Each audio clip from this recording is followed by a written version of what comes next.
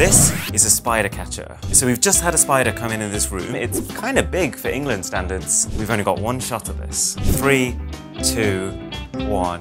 Ah, sugar. Oh dear.